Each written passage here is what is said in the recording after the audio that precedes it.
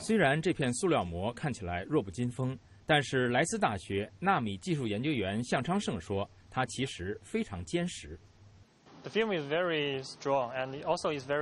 这个薄膜非常坚硬，同时又非常柔韧，所以你看，我们可以把它拉得这么长。实际上，它可以拉长到原来的百分之七百。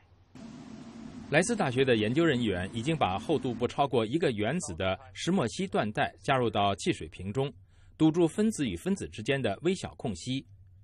虽然这些塑料瓶用肉眼看是固体，不过在纳米层级，这种材料是由巨大的分子组成的，中间有很大的空隙，分子要小得多的气体可以从中逃逸，造成瓶内饮料跑气。石墨烯可以更好地保持汽水和啤酒。等加压封装饮料的原味。莱斯大学化学教授詹姆斯·图尔说：“眼前很多东西，包括他的书桌和电脑，看上去密不透风，其实并非如此。如果从化学分子或者纳米层次上去观察，这些东西看上去就不一样了，整个世界就大不一样了。如今，汽水瓶已经掺入了纳米陶土，以防瓶内气体逃逸。不过，图尔说，石墨烯缎带更便宜。”也更有效。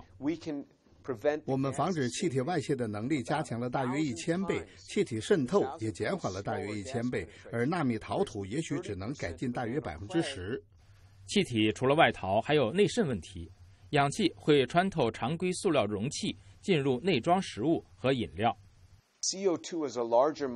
二氧化碳的分子比氧气大，所以要想法防止氧气进入塑料瓶。比如说，在目前的雪碧的呃这个包装瓶当中，现在可能能坚持三个月。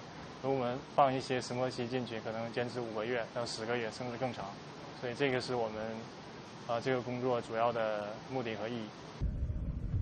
对天然气储存器来说，石墨烯也具有更好的密封性，同时还解决了天然气汽车必须挂载沉重的储气罐的问题。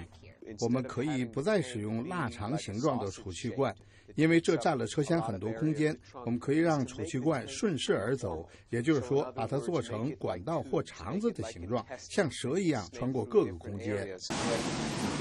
图尔和他的团队将继续测试这种材料，并与私营公司合作开发它的商业用途。这让向昌盛感到欣慰。他说。多数人不能充分理解他和同事们的科研突破所带来的益处，因为这一切基本上是在肉眼看不见的世界中进行的。纳米技术真的在影响人们的生活，虽然你无法亲眼看到。